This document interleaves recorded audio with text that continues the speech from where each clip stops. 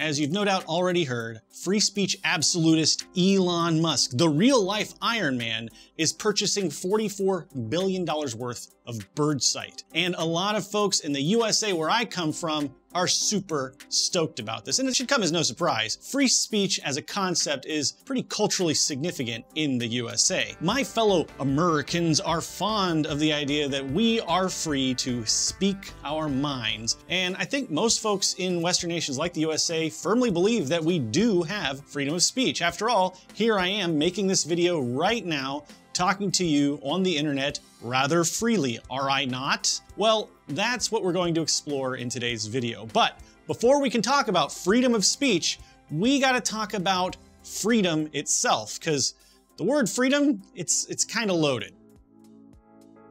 Freedom is defined to me by relationships that we have with our fellow human beings in human society. I mean, if you lived in complete isolation, cut off from the rest of society, the word freedom would kind of lose meaning, wouldn't it? I mean, sure, there'd be no cops, no bosses, no parents, nobody to force you to do or not do anything, but you also wouldn't really be free from anything since there'd be nobody to limit your freedom.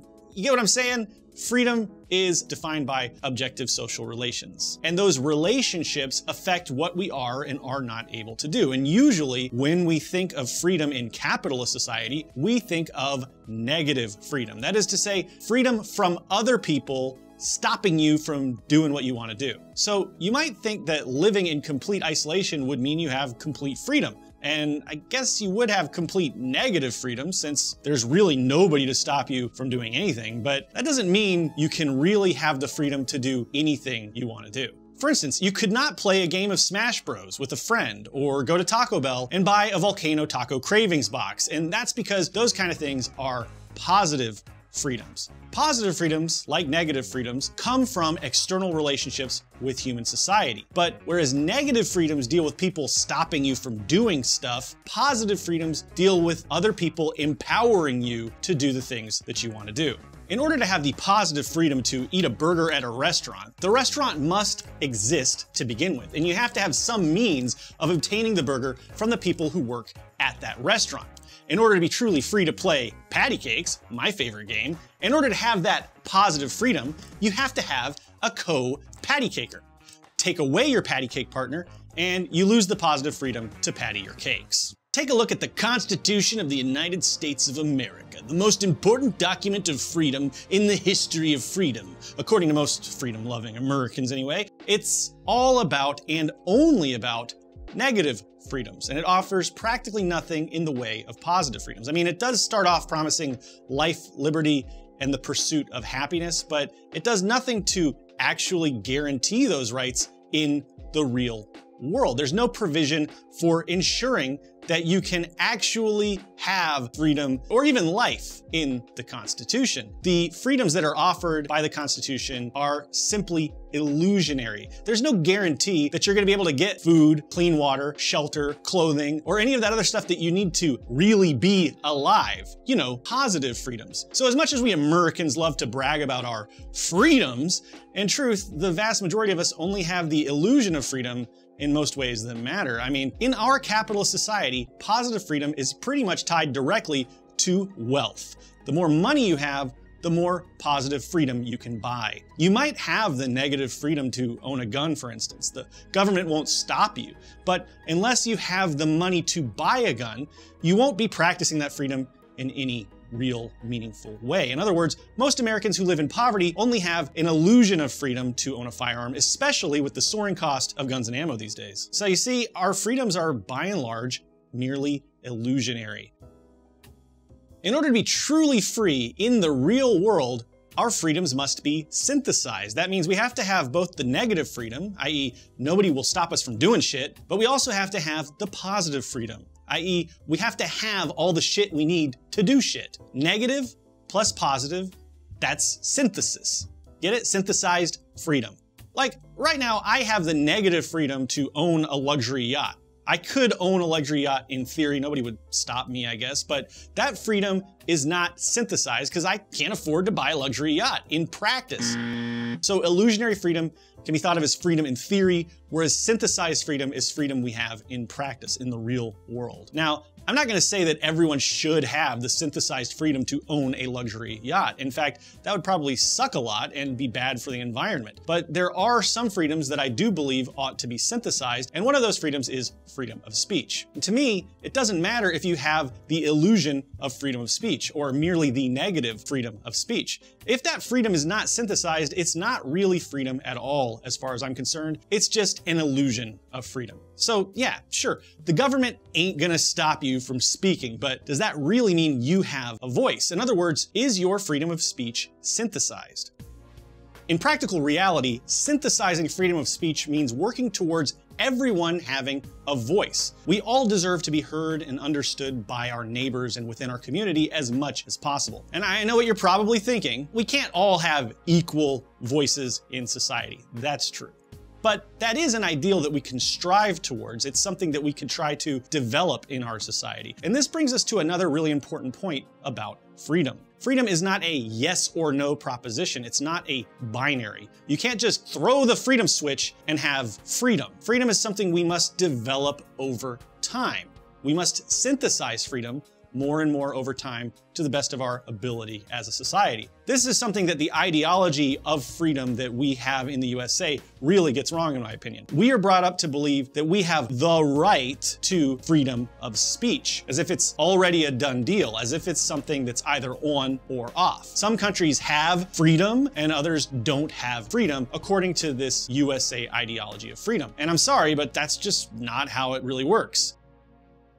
In reality, some people have a lot more freedom of speech than others. When it comes to negative freedom of speech, people in prison certainly don't have as much freedom as you do. And in terms of positive freedom of speech, I have a lot more freedom than most of you watching here right now do because I have this big fancy YouTube channel. But I have way less freedom of speech in a positive and negative sense than someone like Elon Musk, who has billions of dollars to amplify his voice. So to reiterate, freedom of speech and all other freedoms are not static on-off binaries. Freedom is a continuity, and we all move around within that continuity dynamically over time, depending on fluctuating circumstances. And I'm here to say today that in the USA and most countries on earth, freedom of speech is highly unsynthesized for the vast majority of the population in most ways that matter politically. That is to say, most people on this planet right now do not have a voice and will not be heard. The poor are silenced, while a tiny minority of capitalists have monstrously powerful voices, which are magnified tremendously by their enormous wealth. After all, it's been proven in study after study around the world that politicians in bourgeois democracies listen to the wealthy far more than they listen to the poor in making policy decisions. You merely have the illusion of free speech unless you can afford to buy it. Corporations and capitalists have controlled the media for centuries now. As an example, let's take a look at this fella, William Randolph Hearst.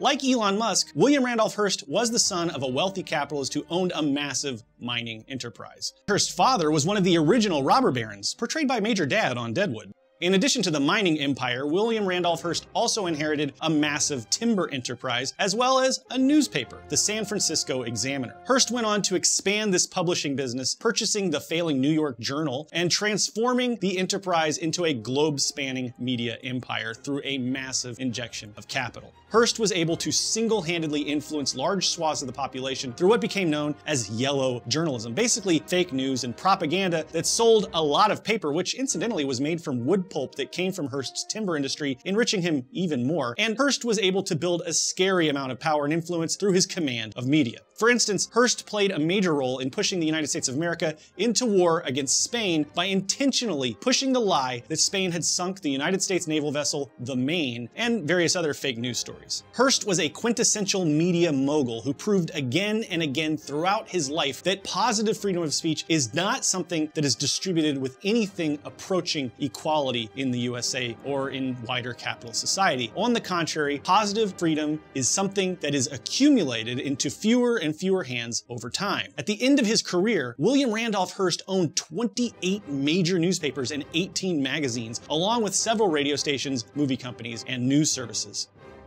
Today, pretty much all of the media in the USA is held by just six corporations. Of course, these days the internet is playing a huge role in influencing media production and consumption, and we are met with relatively new corporate behemoths in the realm of social media. A small handful of giant platforms like Twitter, Facebook, Google News, and YouTube have irreversibly changed the game and the market, as economist Robert Reich points out. With social media, the ordinary rules of competition don't apply. Once a platform is dominant, it becomes becomes even more dominant. As Donald Trump discovered with his Truth Social fiasco, upstarts don't stand much chance. Now that's just astounding when you stop to think about it. Not even Donald Trump, a former president of the United States of America who has a huge loyal following, could break into the game of social media platformsmanship. Yeah, that's a word, sure. But you know who can afford to become a huge player in the social media game? Elon fucking Musk, the richest man in the world. Because unlike Trump, he's actually rich enough to buy a controlling share of an existing major social media platform. In fact, he's doing it right now. Millions of people get their news through Twitter. Millions of people share their stories through Twitter. And right now, one person, one individual, Elon motherfucking Musk, is about to buy a $44 billion stake in Twitter. This will be the largest amount of money ever spent by a single human being on a media company in history. And it's outrageous evidence that we do not have synthesized freedom of speech in this capitalist hell world, but guys like Elon goddamn motherfucking Musk do. We live in a world where we have these amazing, mind-bogglingly powerful, complex, and innovative platforms for human communications. But we also live in a world where all that speech and communication is owned, bought and paid for by a very few wealthy plutocrats like Mark Zuckerberg, Jack Dorsey, and now Elon Musk whose massive stake will give him veto power over a platform used by hundreds of millions of people in their daily lives. What does it mean for a single individual to control a social media platform? Well, I would argue that it's even more terrifying than a single individual owning a traditional media platform. Hearst was able to spread lies and set the agenda within his own empire, but there were rival newspapers and he didn't have the complete authority to control everything that an individual sees. But a social media platform can set the agenda for which agenda setters break through the algorithm. Facebook and Twitter actually have the ability to gatekeep which traditional media moguls have access to your brain. So there's a dialectical relationship between social media and traditional media, but I would argue that social media actually has the upper hand as more and more people rely on social media for news and information. Now, Elon Musk is a man who is a master at manipulating narratives. He did not invent PayPal, and yet he gets the credit for PayPal. He didn't found or fund Tesla, and yet he gets the credit for Tesla. He never designed a rocket ship or a satellite in his life, and yet he gets the credit for the accomplishments of SpaceX, a company which, by the way, is largely funded by the United States federal government, even though Musk himself says he doesn't think the government should subsidize anything. Elon Musk is a manipulative liar and a very good propagandist, and he has made it very clear that he believes it's it's perfectly fine for billionaire capitalists like himself to control the planet. Having gone on the record on Twitter as saying, we will coup whoever we want, deal with it, in response to the USA's imperialism in Bolivia to obtain lithium for his shitty exploding electric cars. Or should I say his employees' shitty exploding electric cars since he didn't actually design them. Now, Musk says that he wants to own Twitter to fulfill some kind of free speech absolutist vision and remove all censorship from the platform. And former CEO of Twitter, Jack Dorsey, has signed off on this vision. But is this vision going to be fulfilled? Will we finally truly get free speech through the power of Musk? In his book, Inventing Reality, Michael Parenti blew apart the idea that capitalist entities are capable of providing free speech and free information to the public at large. The book came out in 1986, long before social social media was a thing, but I really think it's worth unpacking a few of Parenti's arguments as we anticipate the prospect of a Musk-dominated Twitterverse. That was a very cursed phrase. I'm sorry for uttering it into existence. We have to understand that media platforms don't need to actively censor information to control public discourse. For many people, writes Parenti, an issue does not exist until it appears in the news media. How we view issues, indeed what we even define as an issue or event, what we see and hear, and what we do not see and hear are greatly determined by those who control the communications world. The internet and social media were supposed to loosen this death grip on public perception by giving us the ability to produce produce our own content and engage with each other more directly. But if anything, it's actually made things much worse, while simultaneously concealing what's going on through the murky unknowns of the algorithm. Facebook, YouTube, and Twitter, they don't have to tell you shit about how those algorithms function. Various studies and reports have come out trying to document the rabbit hole effect, and we have a pretty good idea that the algorithm tends to suck people into vortexes of like-minded extremists and even push people farther and farther towards the right, but it's difficult to understand exactly what's going on behind the scenes because social media corporations are extremely secretive about how the algorithm and recommendations and timelines really function. Like I can say anecdotally that it seems like my videos which challenge capitalism or white supremacism or otherwise challenge the status quo tend to get quashed by the algorithm, but there's really no way for me to prove this. I mean, it makes perfectly good business sense if I were running advertisements trying to sell you razors or butt wipes or whatever, I wouldn't really want my advertisements for my capitalist enterprise running alongside some asshole talking about how capitalism sucks and capitalists are evil, but folks have been saying for years that YouTube suppresses LGBTQ plus content.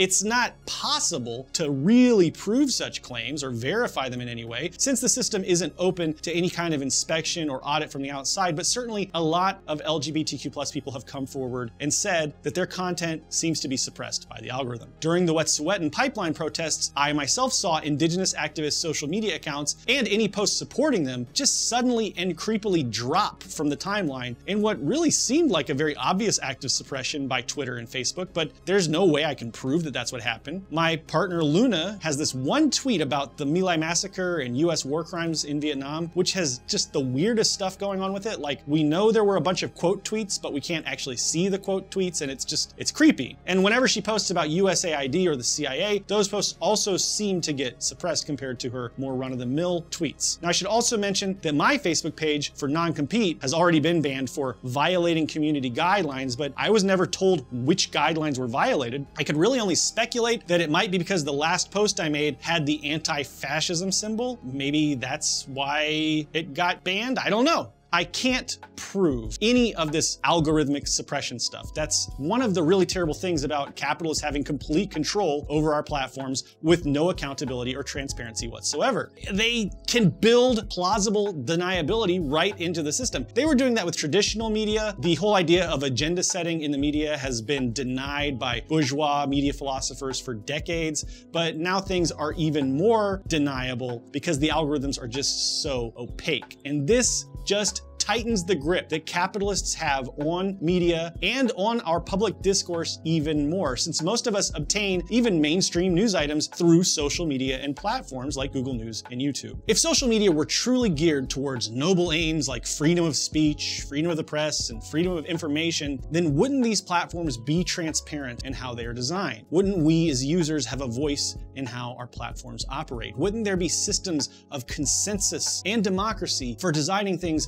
like how the algorithm functions, who gets banned, what is and isn't acceptable behavior on these platforms, and which sources get boosted or suppressed by the algorithm. On sites like Twitter, YouTube, and Facebook, we have no input whatsoever in how these platforms engage with us or what information gets shoved in our direction. In Manufacturing Consent, Noam Chomsky describes how capitalist media must pass through several filters before being published. For instance, information has to be friendly enough to capitalist interests to not piss off corporate advertisers, or it won't make it through the filter to the public. Well, with social media, this filtering process happens twice over. First, massive news corporations get to filter what does or doesn't make it to press, and then social media companies get to decide what does and doesn't get boosted by the algorithm. I mean, sure, some dissenting posts and videos will occasionally slip through the cracks, like this one, but we're talking about scale here. Even if this video that you're watching right now gets tens of thousands of views, that's but a tiny drop in the bucket, the ocean of millions and millions of views, which are given to any given corporate media video on YouTube because it's blasted out by the algorithm. And sure, a lot of us are highly skeptical of what corporate media tells us, but as Parenti says in Inventing Reality,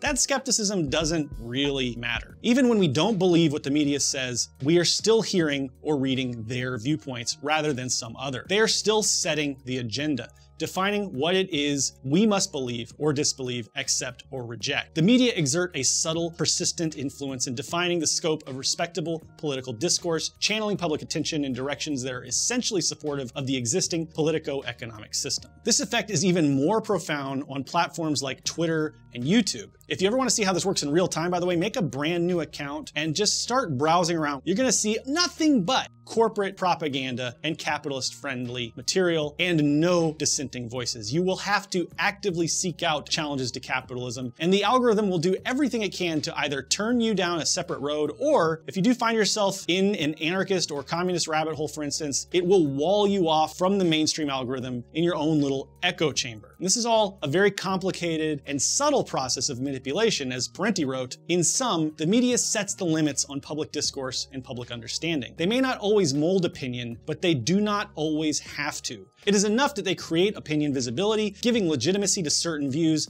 and illegitimacy to others. This power to determine the issue agenda, the information flow, and the parameters of political debate so that it extends from the ultra-right to no further than moderate center is, if not total, still totally awesome. The keywords here, I think, are information flow. Capitalism has complete control over the flow of information on social media. They don't have to censor out revolutionary anti-capitalist voices like mine completely and utterly. They just have to keep the stream of free thought contained to a manageable trickle and do it in such a way that there's just enough plausible deniability to make any inquiries into the matter seem inconclusive, even paranoid in nature. They don't have to shut us up completely. They just have to turn down the volume. Then act innocent whenever anyone points it out. This is how the media, including internet social media platforms, set the agenda of society, and it's how they've invaded our very consciousness in a staggeringly short amount of time, and with almost no real objection from us. We accept these manipulations and subtle forms of censorship and control because it's convenient and kind of fun and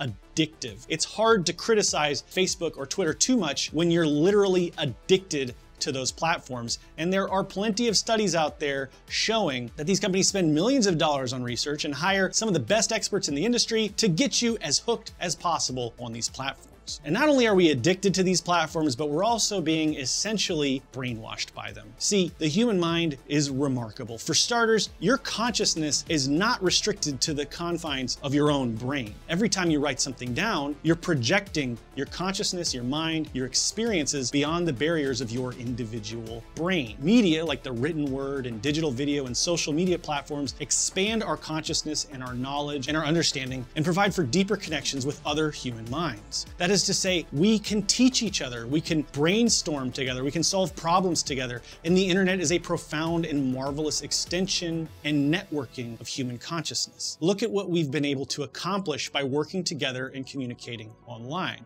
It can't be doubted that platforms like Facebook and Twitter and YouTube and even Reddit, I guess, extend and enhance our consciousness and deeply affect our thoughts and our knowledge of this world. And think of all the things you've learned online, all the people you've met online, all the problems you've solved, and lives you've touched through the internet. But have you ever thought about the ways in which your consciousness is being affected by the internet itself without your consent or even your knowledge? Have you ever thought about the fact that you don't own these external components of your own consciousness? These systems, which have such profound impact on your very thoughts. You don't really have any agency over how your consciousness is being affected and manipulated by these platforms and their algorithms as we've discussed. But have you considered, I mean, really stop to think about the ways in which your own consciousness is essentially being programmed by these external algorithmic components, which are owned by corporations that do not have your best interests in mind.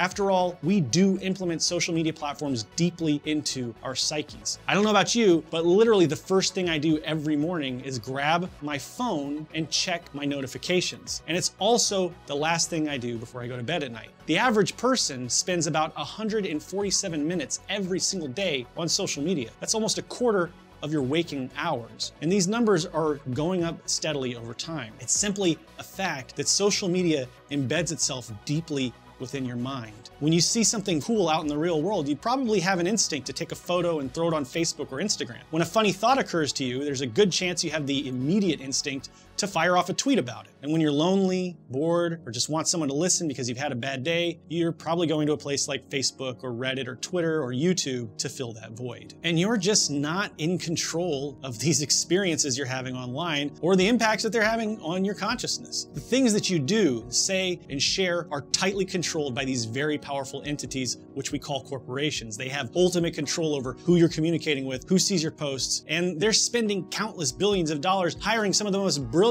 people on earth to make you addicted to these platforms and to control what you see and how you feel. And in that sense, you have voluntarily given away access to your own consciousness to these corporations. Deep access, controlling access in a very real and very scary way. They are setting the agenda of your daily thoughts and emotion. That's why it's so effed up that we live in a world where one human being, one individual can take a commanding share of a social media platform. And that one person like Elon Musk can purchase leverage over a humanity spanning communication system, which is also an extension of consciousness for millions of us, one which holds the power to manipulate and control our very minds in real and meaningful ways. That one person can have direct individual control over a system like that. And the fact that we all voluntarily allow this to be possible is staggering. It's stunning to me how we all live in horror of the government censoring our free speech, but we are a-okay with capitalists manipulating our minds and our speech and our media consumption so deeply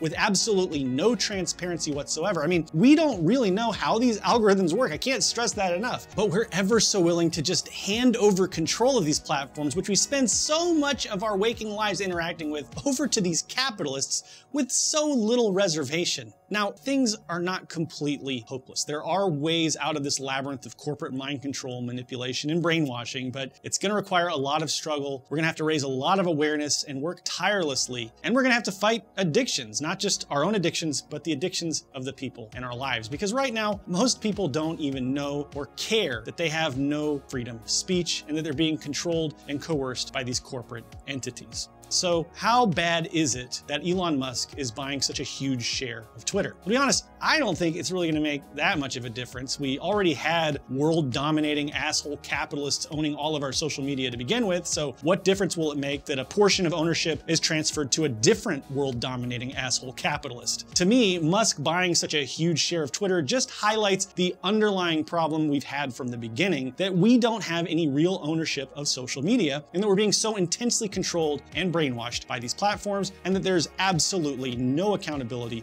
with these awesome, massive systems of communication. We've never had ownership or control of these hyper dominant social media platforms. And this tiny minority of capitalist billionaires have always had control, and all of them, except maybe Tom, have been reprehensible ghouls and tyrants and how they use these platforms to control us. So, no, we don't have freedom of speech. That is to say, our freedom of speech has never been synthesized. And if anything, capitalist domination of social media is actively unsynthesizing what freedom of speech we might have had while building the illusion of freedom more and more as time goes on. And there are even more terrifying things on the horizon, like Elon Musk's dabbling in neural interfaces, which could give capitalists like him even more direct control over our brains. My buddy Big Villainous over at Overthrow Media just put out a great video about that. I highly recommend you check it out. And we'll be exploring topics like these and more in future videos here on Non-Compete, so be sure to subscribe and pray to the algorithm that you might actually see future videos when they're released. And as for Elon Musk, well, I think Parenti clocked him over 35 years ago with this description. If Big Brother comes to America, he will not be a fearsome, foreboding figure with a heart-chilling, omnipresent glare as in 1984. He will come with a smile on his face, a quip on his lips, a wave to the crowd, and a press that A, dutifully reports the suppressive measures he is taking to save the nation from internal chaos and foreign threat, and B, gingerly questions whether he will be able to succeed. I'm American Johnson, this is Non-Compete. Thanks so much for watching, we'll see you next time. Real quick, I want to thank everybody whose name you see on the screen right now. These are our Comradery and Patreon supporters. We could not make this content without your support, so thank you so much. I know times are tough right now. If you do want to consider supporting us, there are links in the description. We really would appreciate it. And yeah, that's what keeps us going. Thanks for watching. What about freedom? But what does it mean?